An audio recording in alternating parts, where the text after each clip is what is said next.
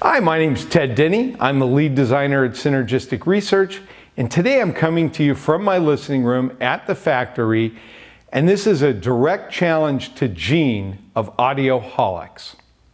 Gene, you've been telling your viewers that my products are snake oil, that they don't do anything, and that your measurements prove products like mine cannot possibly work.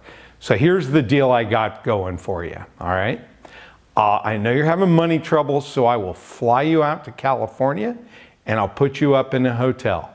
You can ship out any of your test equipment that you would like, and we'll make a video right here at my factory where you test my products, synergistic research products, against products that you feel represent state of the art, that which beyond there is no benefit. They're snake oil and uh, we'll test whatever products you bring and then we will you can go ahead and test them against a corresponding synergistic research product.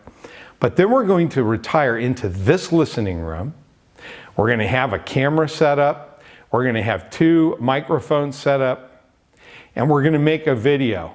First the video of you uh, measuring everything and then a video in here in the listening room where we listen to whatever products whatever cables whatever line conditioning, whatever you want to bring out, and then we will directly compare it to a synergistic research product, and we're going to find out wh who's right and who's wrong, okay? We're going to make high-res recordings of everything that we do in the listening session so people can download these files and listen to them on their headphones or in their uh, high-end uh, stereo systems.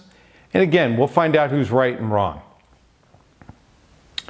To quote Gene, if you actually had any technical background instead of being a used car salesman, you'd actually understand that my test gear is about the best you can get for doing precision audio measurements. That ceramic test load is non-inductive and capable of handling 2K watts.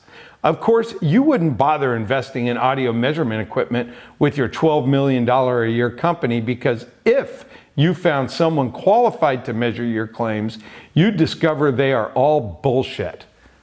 All right, here's your chance to put your money where your mouth is, Gene.